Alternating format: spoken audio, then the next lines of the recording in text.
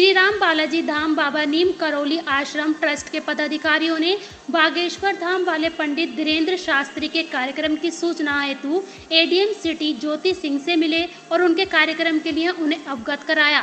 श्री राम बालाजी धाम बाबा नीम करोली आश्रम ट्रस्ट के तत्वावधान में 8, 9, 10, 11, 12 अक्टूबर 2023 से श्री राम बालाजी धाम बाबा नीम करौली आश्रम ग्राम उमरी सब्जीपुर पागबड़ा मुरादाबाद पर महायज्ञ किया जाएगा जिसकी आहुति 10 अक्टूबर को धीरेन्द्र शास्त्री बागेश्वर धाम सरकार द्वारा दी जाएगी। उसके उपरांत दिव्य दरबार एवं हनुमंत कथा का शुभारंभ धीरेन्द्र शास्त्री बागेश्वर धाम सरकार के द्वारा नया मुरादाबाद सेक्टर 6 में किया जाएगा, जिसके अंतर्गत प्रतिदिन लगभग एक लाख श्रद्धालुओं के आने की सूचना है, ट्रस्ट के अध्यक्ष अनिल कुमार शर्मा ने बताया।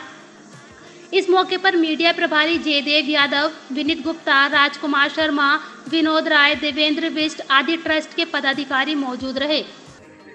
श्री राम बालाजी धाम बाबा निकोलजी आश्रम के तत्वाधान में बागेश्वर धाम सरकार का यहाँ दिव्य दरबार अक्टूबर में लगने जा रहा है।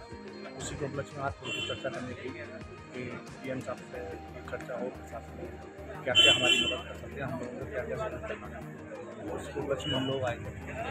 बागेश्वर धाम सरकार का अक्टूबर में कार्यक्रम होने जा रहा है। आठ और नौ और दस तीन दिन आश्रम पर, बाबा नीपरोली आश्रम पर दिव्य दरबार रहेगा दो दिन, नए मुरादाबाद में। और वहाँ पर तीन दिन यज्ञ होगा महाराज जी का। तो पूर्ण आहुति में महाराज जी हमारे आश्रम में रहेंगे। और उसके बाद दो दिन का दिव्य दरबार नए महाराज लगेगा। इस विषय में आज सूचना देना है। इसी पर चर्चा हुई है। थोड़ी सी बाकी प्रशासन